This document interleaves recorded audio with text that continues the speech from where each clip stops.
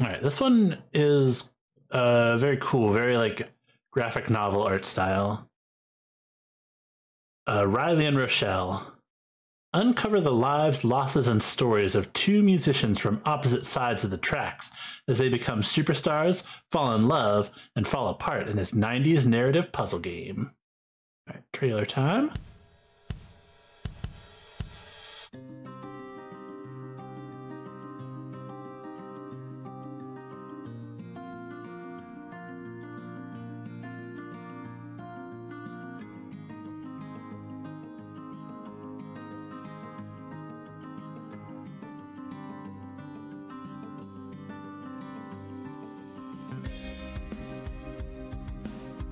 Style is super cool. Looks like uh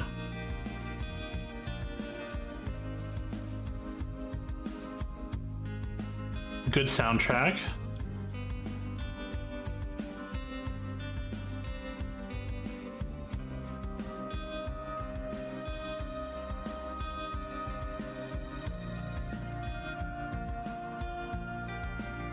Love pop in the 90s. What more can you ask for?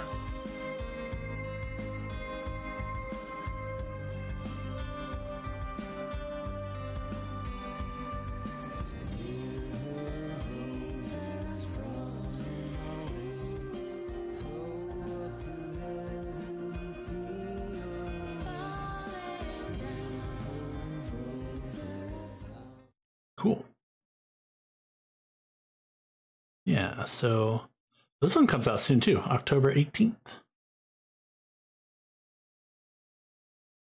All right, let's let's check it out.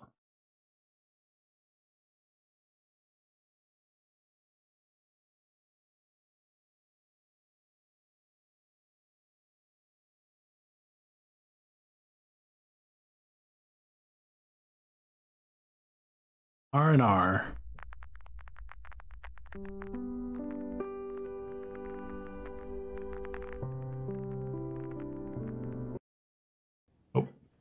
was abrupt. Hey, welcome. Have a donut? Whoa, Dan. You've got storyboards set up. Absolutely. Ready to make Riley and Rochelle a movie? Um, of course. The way I see it. A My movie. skills and your access, we can't fail. I prepared a few pitches. Ready? Uh, sure. Okay. She was a star with a heart of gold. I don't like that there's no subtitles. He was a grifter from the tough part of town. Just give me a chance, Dad. Together, they would form a bond of unbreakable love and music. Ah, You're laughing. Sorry. It just, uh, it just doesn't seem like the Riley and Rochelle I know. All right. All right. A little British, Irish. a little Irish sarcasm. I could have anticipated this. Let's try a different one. In a world that kept two lovers apart, In a world. only one thing could bring them together. A fated encounter. A fleeting glance. Uh, what? Yeah, I just don't think it's like that, Dan. They met at the Oscars. It's not like they were political prisoners. All right. All right. Last one. She was a good girl. Oh, He a dear. guy from the wrong side of the track. Dan, I'm beginning to think we don't know enough about our subjects to make this movie.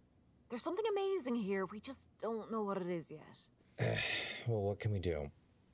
Well, I've got access to their archives, right? The ones they lent me for the project, and I had digitized. Oh, yes, those. Scraps of paper, endless unsorted notebooks with no dates attached. Yeah, exactly. I think I could spend a bit of time with them. Those notebooks, for example, I mean, they really shine a light on what they thought and felt. If we could just put some dates to those entries, it would be a start. All right, Neve. You take some time, go back to the source, let's find out what the story really is, and then we can make a movie. In a world where two lovers could never be together.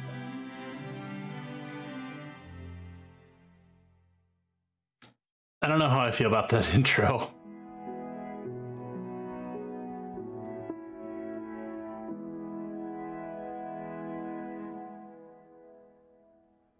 It is weird. All right, welcome to Riley and Rochelle. It's time to venture into their life story and explore their fascinating worlds. Your main goal is to find out the correct dates for their diaries. You can access the diaries by clicking on any book and inputting the date. When all the entries in the current collection are completed, the level will end.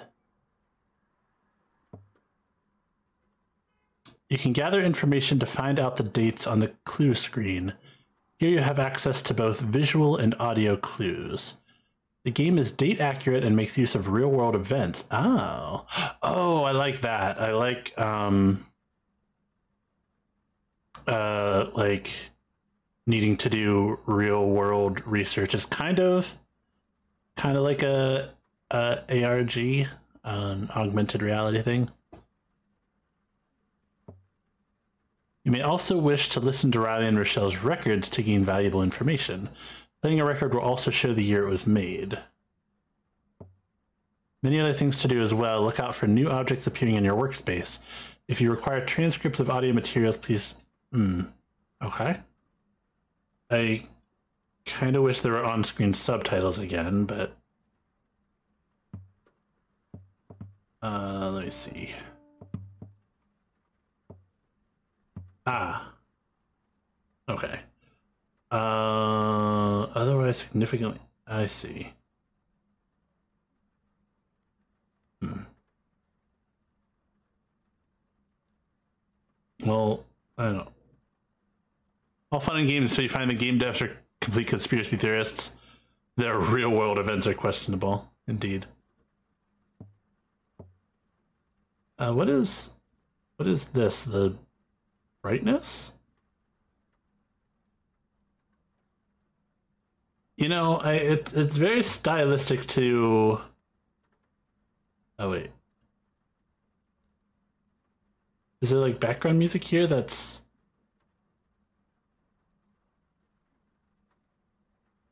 it's very stylistic and all, but I, I don't know what these buttons do.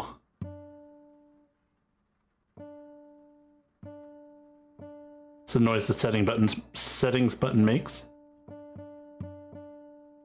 Oh, wait. No, I I, I did that already. Okay. Um, so we've got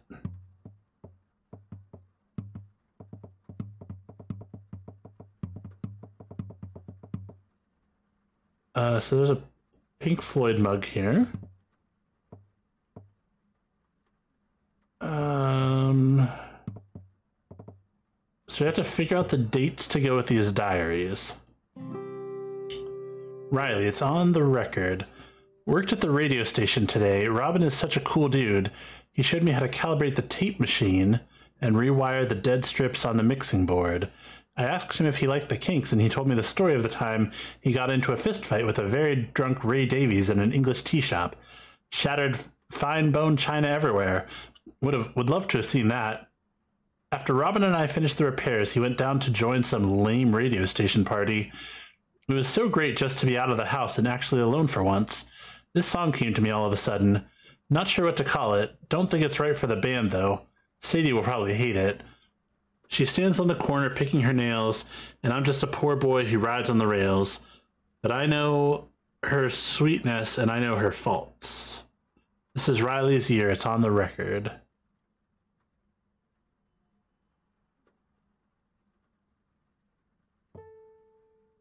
Oh. Uh.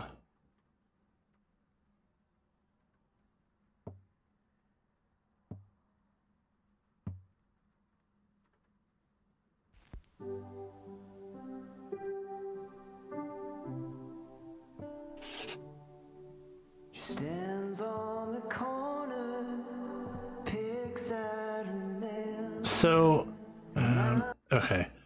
Waiting for Love 1990. Worked at the radio. Okay, so so we've got the diaries. We've got clues, collections. We've got the music. This is so we, we can see the year the albums were released, but we need the exact date for these. So the year would have to be on or before he wrote these lyrics. Let's see what these do. Dear Mrs. Stone, thanks for coming down to the station yesterday. Yesterday, isn't it Riley? Miss? Mr. Stone wants right. Oh, okay. Oh, okay, okay. Thanks for coming down to the station yesterday. It was lovely to meet you at our annual jamboree, and I hope you're doing well. I wanted to write to you, sorry for the formality, I'm a Brit, to let you know how Riley is doing at WRTI. You're right, he is an excellent worker like his dad. He has been a brilliant assistant with all this with all supplemental tasks, but he also has much more to him. He has a real knack for musical equipment, and as such, we have moved him on to audio technician roles. I know this started as a summer job and something of a favor, but I must let you know that Riley has a real gift for music. For instance, today he sang me a song of his called Waiting for Love, which he said he'd written the day before. Aha! Aha! Aha! It was astonishingly, astonishingly sophisticated for an adult, let alone a 16 year old. I hope this isn't too forward. I know Mr. Stone wants Riley to go to mechanics college, but I'd urge considering some alternative options. My dad was also a union man in Lancashire, and I had to move across the Atlantic to not end up down the pit. Riley really has something, and I hope you can see it and allow it to flourish. Okay. So he said that Riley wrote Waiting for Love yesterday, August 21st. So uh so we're going to listen for these lyrics, I suppose, just to make sure.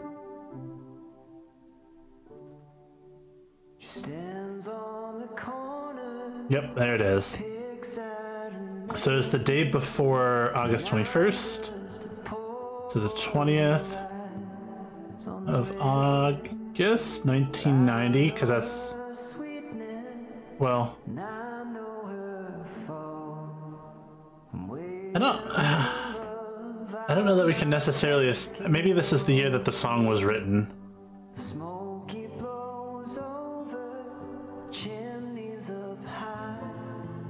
Ta-da!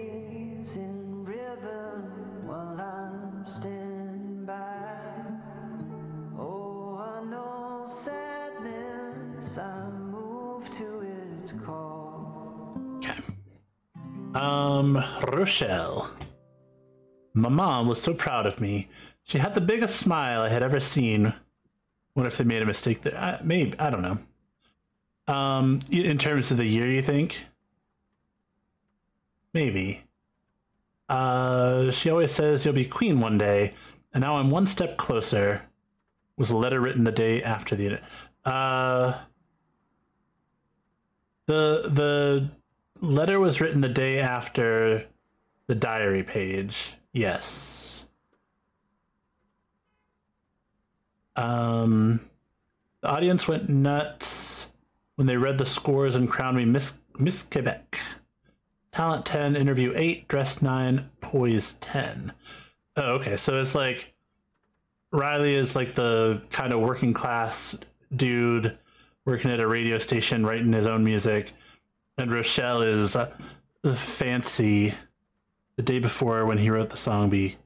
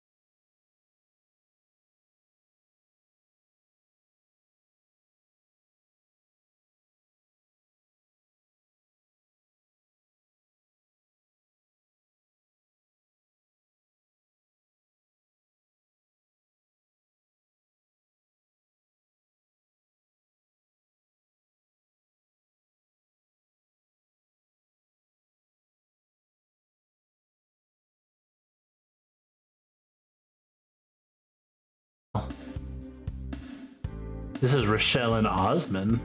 Ooh la la. I'm leaving with Osmond in the morning. This news is not going over well. Maman doesn't understand. I told her Cœur Brise has been doing great and is getting played on radio stations in uh, Kier and Sherbrooke. Le Fleur's Diner is ordering eight boxes of the tape since I suggested the Croûte cassette promo. Osmond says we've made enough money to live in Quebec City for a few months. We'll record some new music, then head out on the road. I brought cupcakes for Stephanie today. She wouldn't even look me in the eye. I wished her a happy birthday and she practically shut the door in my face. She took the cupcakes first. Stephanie's got priorities. It was heartbreaking between her and Mama. Am I being selfish? Osmond says there's no time for drama. He says I should forget about them and not look back. I guess he's right. It's going to be 1992 soon, and he's got a regional tour and a big showcase planned. After that, it's success all the way. All right, well, it's going to be 1992 soon, so it happens in 91. Oh, Could you give a little introduction and tell us about yourself? what happened to this transcript? I'm a payroll administrator for the municipal government of There we Trois-Rivières. go. How did you first meet Rochelle? My parents moved to Trois-Rivières when I was in grade two. I didn't know anyone, and I remember being really nervous. I met Rochelle at the local YMCA.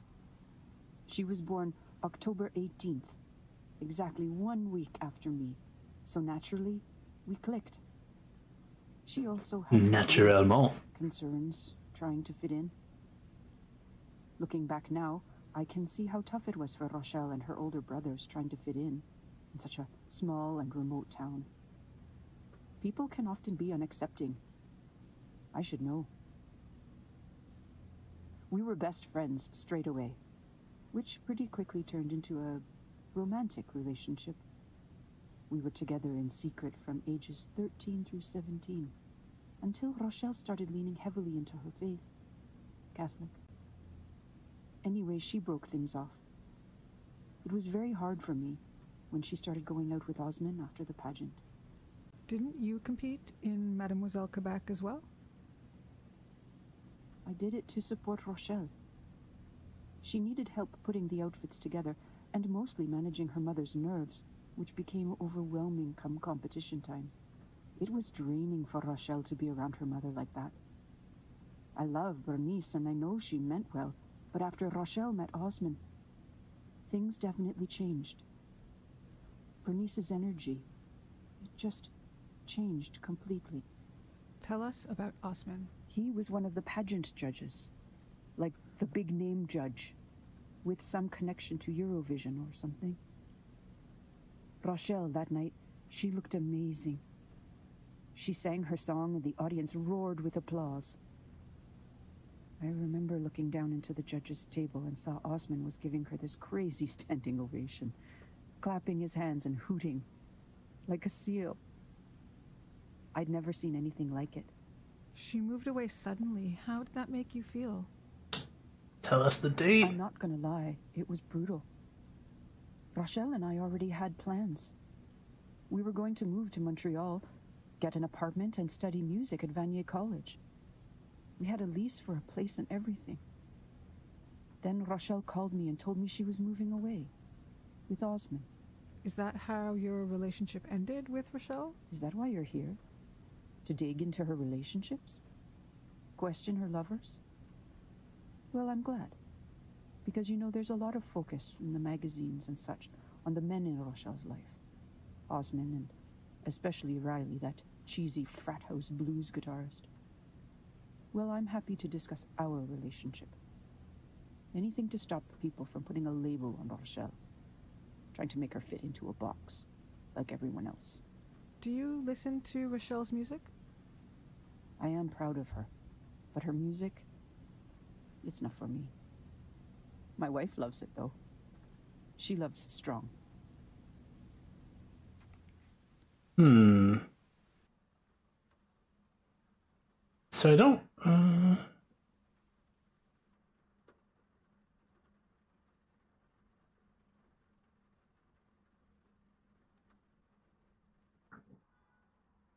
Um, hmm.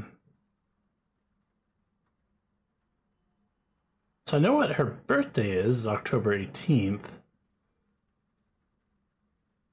We know that she moved away suddenly.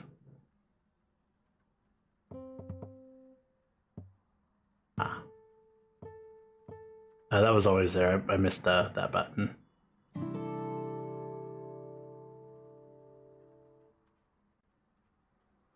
I wish her ah ah ah. I wish her a happy birthday. She practically shut the door in my face. Okay, so it's on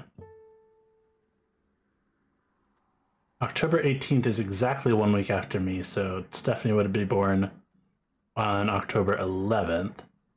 Uh, so this is 91 October 11th.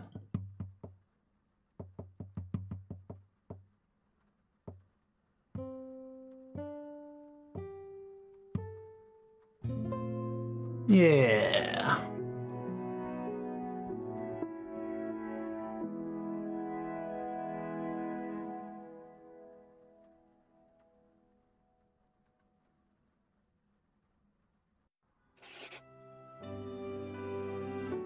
A broken heart. Cur breeze.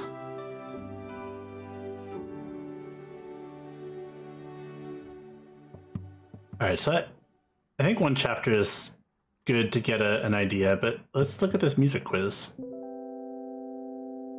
Hi, Nam. Dan here. Time for you to get really familiar with. Oh, I see. Gotcha. So. Interesting. So you, you got to really get familiar with all the music. So are there? I guess there's 14 different tracks. One, two, three, four, six, ten.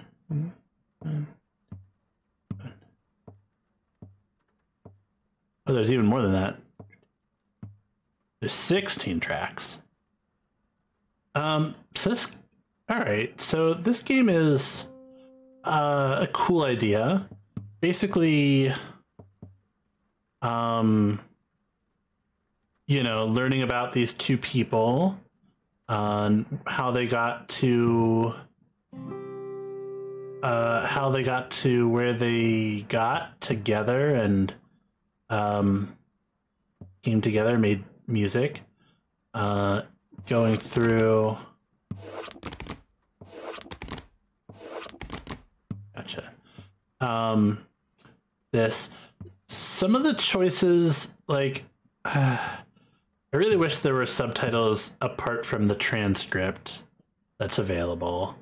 Um, that's a that's a pretty big accessibility thing that um, I am a big proponent of as someone who often has difficulty with audio auditory only things, which I, I guess if it's a game based around this this soundtrack that they wrote and music and and stuff, like you're going to want it to have an auditory component, but um, having more responsive subtitles and not just having to scroll through a transcript would be, I think, preferable. But um, it's a cool idea. Yeah, this is one to keep an eye on. Uh, this is Riley and Rochelle, uh, named after the two people. All right, I'll uh, put the link to this one in the chat as well, and uh, check it out if you are so inclined.